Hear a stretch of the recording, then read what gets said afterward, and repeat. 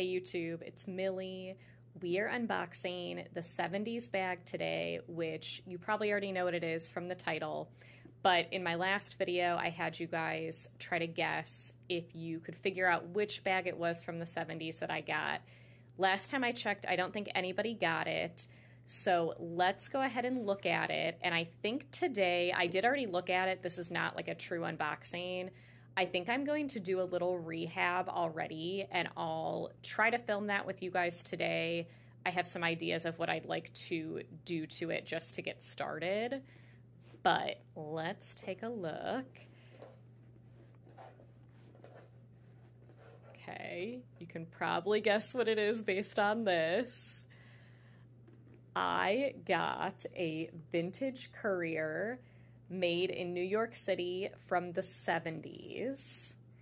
And you can see she is very well loved. I don't know exactly what color this would be. I'm not as informed on some of the vintage colors, especially if you go past like the 90s. I don't really know the names or before the 90s.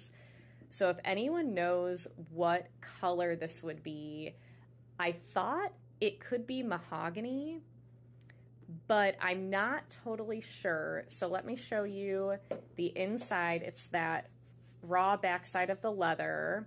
It has the buckle straps. It did come with the original hang tag, but you may be able to tell, I don't know if this means it's split. I have heard about some sellers purposely splitting them, but the seller I got this from is really good, so I don't think she would have done that intentionally. It may just have fallen off, or is this what they looked like in the 70s? If anyone knows that, let me know. This is the oldest bag that I own, so not totally sure. And then here is the strap, which is in like such good condition. The only thing is that one of the, would this be a grommet? One of those is missing. But that honestly does not bother me. I'm not really going to notice that. The only other, there's a couple things wrong with the bag, which is to be expected when it's from the 70s. But there's a little bit of a tear here. It does not impact the use of the bag. And then there's also some marks here on the top, which I can't really tell if they're scratches or pen marks.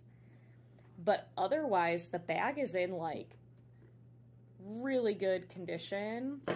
Let me show you the inside. This might be a little hard. So there is the Creed story patch, whatever you want to call it. And I was talking to Dawn in the comments of my last video. So on some of the creeds, it will say where the bag was made. So the Ergo bag from the 90s that I, er, yeah, was that the 90s? 98? Um, it says made in Costa Rica in the actual text of the creed. This one, which is going to be really hard to show you guys because of the light. This one at the very bottom says made in New York City. And these were on some of the 70s, 60s, maybe even 80s bags. Some of them also say just made in the United States, but you can tell that they're made in New York. But this one specifically says made in New York City. You may be able to see that on the very bottom there. And this does have a number on the bottom, but it doesn't really tell us a whole lot because they weren't doing plant letters on the bags at this point. So I think what we're going to do, and I'm just going to film this and like get right into it. I don't know that there's going to be a whole lot of talking. This may be more just like ASMR if you want to watch me rehab the bag a little bit. I have this little handheld vacuum that I recently got. So I'm going to vacuum the inside of the bag, all the raw parts of the bag, and then I am going to use saddle soap on this and get some leather CPR on here. This is an old bag, and I know that the previous owner did a really good job of taking care of it, but it is a little bit misshapen right now. And so I want to kind of get some stuff going with this to add some shape back I'm going to be putting a bunch of these inside to give it some shape. So let's go ahead and get started. This thing is magical. If you guys want me to add the link for it, I can. I think it was like 20 to 30 bucks, pretty cheap. And you get a bunch of attachments. I'm gonna be using this one so we actually get what we need off of here.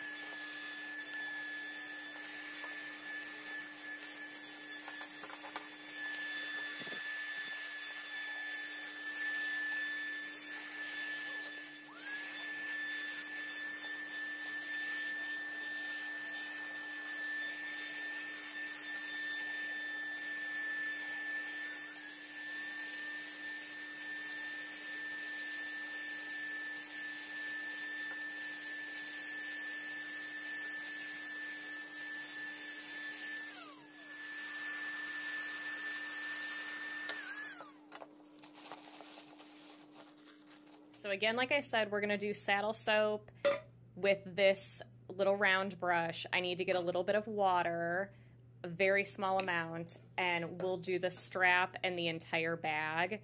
And I am going to use a old t-shirt to wipe up the excess as we go.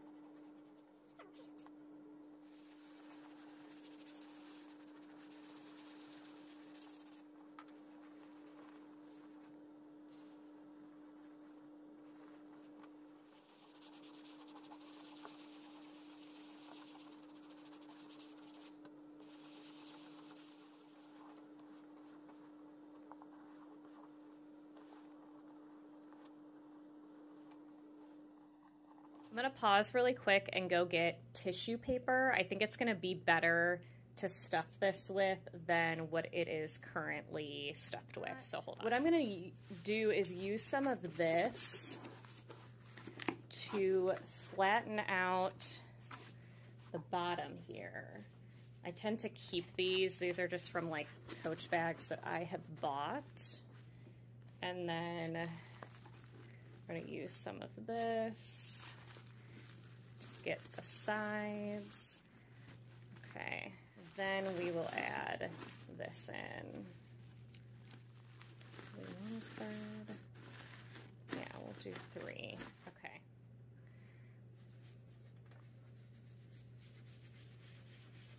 And this is the infamous tab that led to the creation of the tabbies.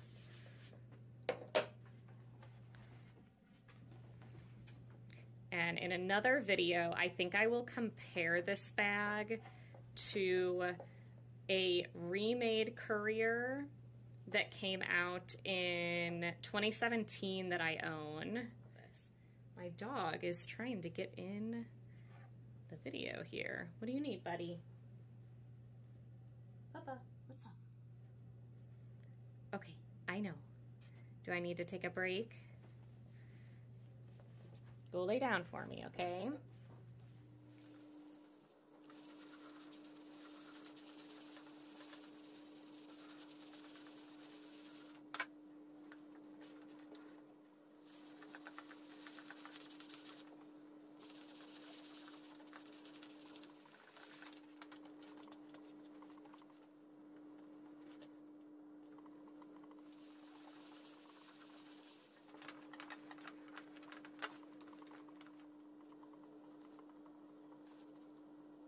Okay, the bag has dried for the most part.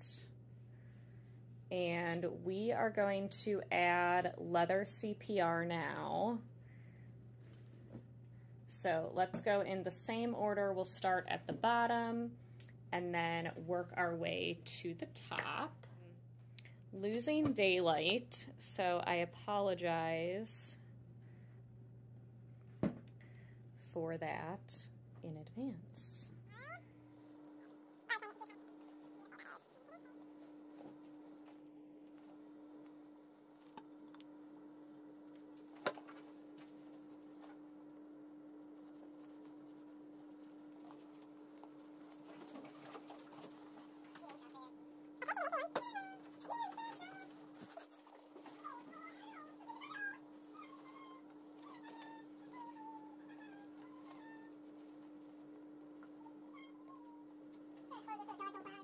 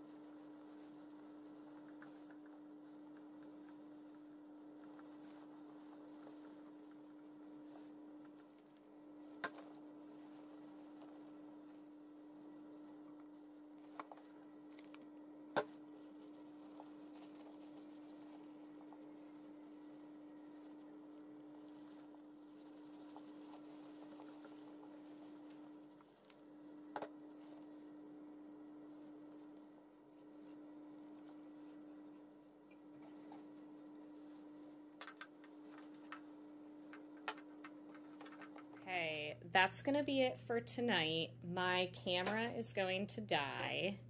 So we're going to leave it here. It's going to dry some more. You can see how hydrated it is. The color looks even richer after doing that. But we're going to let it dry and then we'll come back and see how it's doing tomorrow.